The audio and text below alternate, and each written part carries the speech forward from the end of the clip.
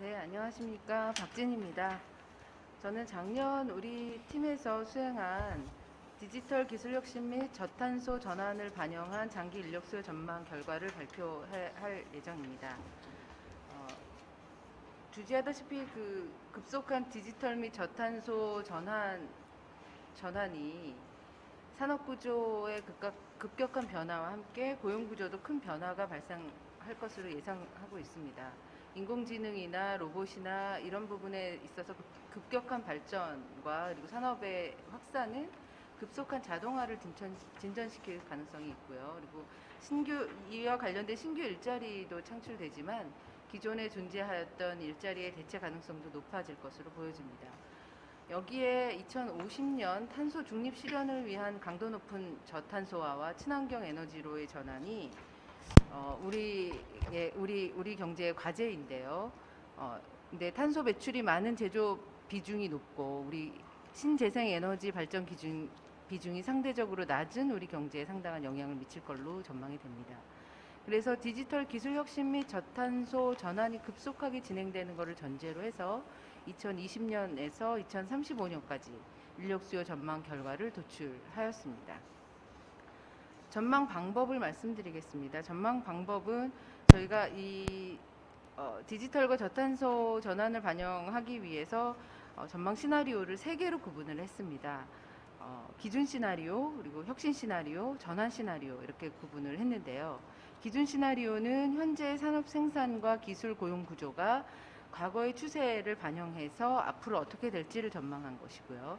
디지털 아, 혁신- 기술 혁신이 반영된 시나리오, 혁신 시나리오는 어, AI 기술이 급속도로 확산되고 화- 산업 경쟁력을 강화하면서 노동 생산성이 크게 향상되는 과정에서 나타나는 어, 그 취업자 수 전망을 했고요. 그리고 전환 시나리오는 어, 디지, 디지털 기술 혁신이 급속도로 확산되는 가운데 저탄소 전환으로 어, 급격하게 전환이 이루어진다는 가정하에서 전망을 하였습니다. 전망 방법은 한 네 단계로 구분할 수 있는데요. 첫 번째로 시- 산업별로 실질 부가가치를 전망을 한 후에 어, 노동 생산성도 전망을 해서 취업 개수를 실질 부가가치에 적용하면 취업자 수를 전망할 수 있는데 이때 도출된 취업자 수를 정량적 정성적 지표를 활용해서 전망치를 조정한 후에 이 결과를 발표하게 됐습니다. 그리고 취업자 수는 인구 구조 변화 그리고 인구 감소에 의한 공급 제약이 그 1900 아니 2030년 이후에 어, 크게 영향을 미칠 텐데 그 공급 제약을 반영하여 저- 전망하였습니다. 그럼 디지털 기술 혁신을 반영한 산업별 인력 수요 전망 결과를 말씀드리겠습니다. 어, 급격한 디지털 전환 으로 우리 경제는 기준 시나리오에 비해 높은 경제 성장률을 달성할 걸로 어, 전망하였습니다. 기준 시나리오는 20년 20년에 그 기준 기준 연도가 되는 20년에 코로나 대 유행으로 어, 저- 어, 수요가 전반적으로 위축돼서 0.9% 감소하는 것으로 나타났는데 21년에 V자형으로 회복되었다가 지속적으로 둔화되어서 35년에 1.6%를 기록할 걸로 전망했습니다.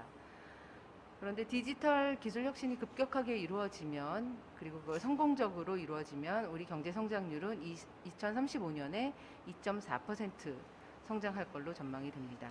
이거는 ICT 중심의 설비 투자가 급격하게 증가하게 되고요. 그리고 신기술 도입과 확산으로 산업 및 수출 경쟁력이 향상되고 이에 따라 소득 및 소비 증가가 예상되기 때문입니다. 이를 반영하여 어, 그 취업자 수는 기준 시나리오보다 디지털 혁신 시나리오에서 더 많이 증가하는 것으로 전망을 했습니다. 그림에서 보시는 것처럼 2035년에 어, 2,771만 1000명 정도가 될 거로 전망을 했고요. 어, 전망 기간 동안 20년에서 20, 아, 35년까지 전망 기, 기간 동안 80만 7천 명 정도 증가할 걸로 전망을 했습니다. 어, 기준 시나리오 전망을 보시면 2035년에 2,700만 558만 55만 8천 명 증가해서 기준 시나리오는 65만 3천 명 정도 증가할 걸로 전망을 했는데 디지털, 디지털 기술 혁신이 성공적으로 이루어지게 되면 어, 15만 4천 명이라는 이 취업자가 추가로 증가하게 되는 걸로 어, 전망을 했습니다. 디지털 전환을 반영하면 에, 디지털 전환이 성공적으로 이루어지면 산업 구조도 우리가 변화를 하게 되는데요. 주로 어, 산업별로 보면 주로 디지털 기술 혁신과 관련이 높은 업종을 중심으로 기준 시나리오보다 디지털 혁신 시나리오에서 취업자 수 증가폭이 커질 걸로 보여집니다. 옆에 그 그림을 보시면 어, 빨, 어, 그 파란색이 기준이고 그 주황색이 디지털 혁신에 따른 취업자 수 전망입니다. 어, 특히 어, 어, 그러니까 그 제조업 부문에서는 어, 디지털 어, 혁신을 주도하는 업종이었고요. 서비스업에서도 마찬가지로 전문가 기술 서비스업 부문에서 크게 증가할 걸로 전망이 됐고요. 어, 보건 보건사회 서비스업도 많이 증가하게 되는데 이거 이 부분은 고령화 현상을 반영해서 나타나는 걸로 보여집니다. 좀 더 세부적으로 산업별 전망 결과를 말씀드리겠습니다. 기술 혁신 주도 산업의 전망 결과를 보- 를 나타내고 있습니다. 이 표는 여기서 보시면 정보통신업과 전문가 기술 서비스업이 어, 그 상당히 많이 증가하는 걸로 나타났고요. 정보통신업은 어, 디지털 혁신 시스템을 지원하는 산업이라서 전망 기간 동안에 설비 투자가 급격하게 증가하게 되면서 어, 취업자 수가 늘어날 걸로 전망을 했고요. 전문 과학기술 서비스업은 저출산 고령화에 따른 인구 감소를 감소로 어, 어, 나타나게 되는 생산력의 감소를 극복하기 위해서 신기술을 개발을 하기 하고 이를, 이에 대한 R&D 투자 확대 그리고 기술 혁신 및 융합에 필요한 어떤 창의적 인력 수요가 늘어나게 되면서 7만 3천 명 추가적으로 증가하게 예, 되는 되는 것으로 전망을 했습니다. 그리고 고용 어, 디지털 전환이 성공적으로 이루어졌을 때 고용 증가를 하게 되는 산업은 어, 제조업 부문에서는 화학물질 및 화학 제품 제조업 그리고 서비스업 부분에서는 사업 지원 서비스업, 보건 및 사회복지 서비스업 이렇게 나타났고요.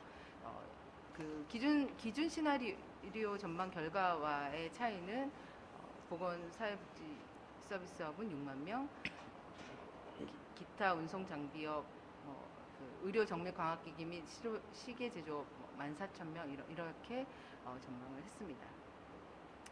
그리고 고- 기준 시나리오 전망에서는 고용이 감소할 거로 예측이 됐지만 디지털 혁신이 촉진되면서 고용 감소폭이 둔화될 거로 전망한 산업은 건설업, 교육 서비스업, 문화 및 기타 서비스업이었습니다.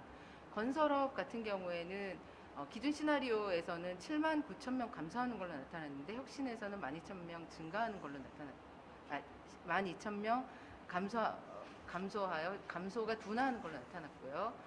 아, 네, 교육 서비스업은 어, 온라인 학습이나 AI 튜터 등 비대면 교육 서비스업이 늘어나면서 어, 새로운 온라인 교육 서비스 시장이 확대되면서 감소가 둔화하는 걸로 나타났고요.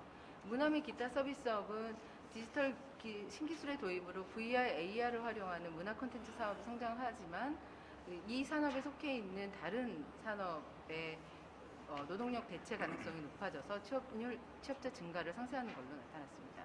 고용 감소 산업은 노동력 대체가 상대적으로 큰 제조업이나 서비스업 부문에서 감소하는 걸로 나타났습니다. 다음으로 저- 디지털과 저탄소 전환을 반영한 음, 결과인데 어, 디지털에서 디지털 혁신이 성공적으로 이루어질 때 경제 성장률이 2.4%였는데 여기에 저탄소 전환이 들어가게 되면 경제 성장률은 다소 낮아져서 1.8%로 1.8% 증가할 걸로 나타났습니다. 이거는 이제 기준 시나리오보다는 높지만 디지털 전환 성과 디지털 전환 경제 성장률보다는 낮은 그런 수준입니다. 이를 반영해서 취업자 수 역시 디지털 혁신 시나리오보다는 적게 증가하지만 기준 시나리오보다는 더 많이 증가하는 걸로 나타났습니다. 그래서 그 전환 시나리오에서는 전망 기간 동안에 66만 4천 명 증가하는 걸로 나타났고요. 기, 어, 기준 시나리오에 비해 아, 혁신 시나리오에 비해서 14만 명 정도 적게 증가하는 걸로 전망을 했습니다. 어, 그리고 어, 디지털 저탄소 시나리오 어, 전망 결과로 산업 구조 자체도 많이 바뀌는데요. 주로 에너지원을 화석연료에서 신재생 에너지로 전환하고 친환경 생- 산업 생태계를 구축하는 과정에서 산업 구조가 영향을 미치게 되는데 주로 도소매 제조업 농림업 비중은 줄고 보건 어, 정보통신업 전문과학기술 서비스업 비중이 크게 늘어날 걸로 전망을 했습니다. 그래서 어, 전, 저, 전환 시나리오에서도 마찬가지로 친환경 인프라 구축 관련 산업 인 전문과학기술 서비스업이라든가 전기가스 증기 수도업이라든가 수도 폐기물 재활용 서비스업 부문에서 고용이 늘어날 걸로 전망을 했고요. 어, 고용 증가하는 산업은 어, 기타 운송 건설업과 그뭐 친환경 선박으로 대체 수요가 높은 기타 운, 운송 장비 제조업 부문에서 고용이 증가할 걸로 전망을 했고요. 기준보다는 고용, 고용이 증가하지만 디지털에서 고용 감소하는 산업 같은 경우에는 어, 주로 그 디지털 혁신 그 간, 탄소를 간접적으로 배출하는 그런 산업입니다. 그래서 신재생 에너지가 안정적으로 공급되기 전까지 디지털 혁신 시나리오보다 취업자 수는 더 적게 증가할 것으로 전망을 했습니다. 그리고 어, 기준보다는 감소하지만 디- 어, 디지털이나 디지털 혁신보다 혁신 시나리오보다는 고용 감소가 둔화되는 산업의 경우에는 농림업, 고무 제품 및 플라스틱 제조업, 1차 금속 제품 제조업으로 어, 그 기준보다는 취업자가 감소하지만 디지털 혁신보다는 취업자가 덜 감소하는 산업으로 저희가 전망을 했습니다. 농림업 같은 경우에는 그 탄소 배출 완화 식물을 재배하면서 어, 어, 취업자가 조금 늘, 늘어날 걸로 덜 감소할 걸로 전망을 했고요. 고무 제품, 플라스틱, 1차 금속 모두 탄소 배출 저감을 위한 공정이 제대로 어, 활용되면서 디지털보다 더, 저- 덜 감소하는 걸로 전망을 했습니다. 고용 감소는 어, 그 탄소 배출이 높은 산업을 중심으로 많이 감소를 하, 하고요. 어, 특히 자동차 및 트레일러 제조업 부문에서 고용이 많이 감소할 것으로 전망을 했고요. 어, 도소매 및 음식, 음식 숙박업 부분에서 서비스업은 어, 이 부분에서 감- 감소하는 걸로 전망을 했습니다. 그래서 장기적으로 기술 혁신의 가속함이 산업 구조의 저탄소 전환으로 인해서 산업 및 고용 구조가 변화하게 되고 이에 대한 대비가 필요하다라는 어, 음, 거를 결론으로 도출을 할 수 있고요. 그래서 그 전통적인 산업이라든가 정형적이고 단순한 직무를 수행하는 직업군에서 실업자가 발생할 가능성이 있습니다. 이를 위해서 기술 혁신의 가속화에 대비한 인력 양성 정책이 필요하고요. 그리고 노동력 부족에 대응해서 어, 신기술 도입이나 저탄소 전환 등으로 구조조정된 인력에 대한 노동 전환 정- 정책이 필요합니다. 그래서 이들을 위한 고용 서비스 제공이 반드시 필요하다고 보여지고요. 그리고 사람 중심 대응 전략을 추진하기 위한 현- 현황 파악 그리고 이를 반영한 디지털 저탄소에 특화된 인력 수요 전망 모형 개발이 중요하고 이를 위해 통계 인프라 확충이 필요하다라는 게 어, 결론입니다. 이상 발표를 마치겠습니다.